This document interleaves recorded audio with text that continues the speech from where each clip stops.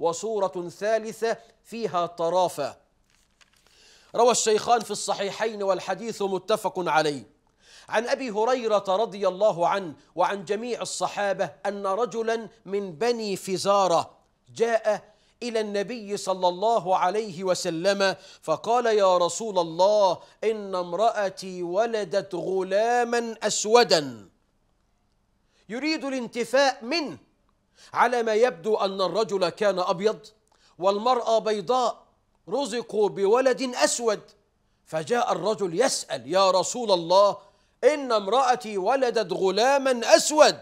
فقال له النبي شوفوا الجدل والحكمة والمنطق القوي. فقال له النبي صلى الله عليه وسلم فهل لك من إبل؟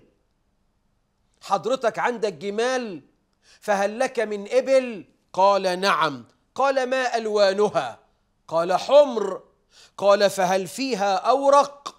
يعني جمل أبيض في أسود رمادي يعني فهل فيها أورق؟ قال نعم. قال فأنى له ذلك. الجمل ده أبوه جمل أحمر وأمه ناقة حمراء زي بقية القطيع.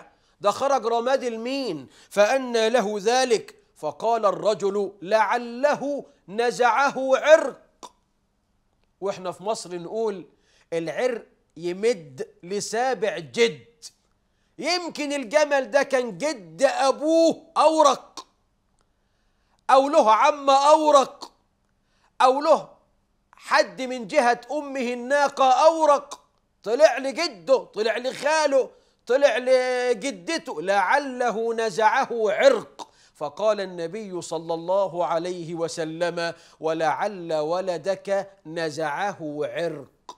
اللهم صل على محمد صلى الله عليه وسلم كم كان رفيقا حليما حكيما صلى الله عليه وسلم.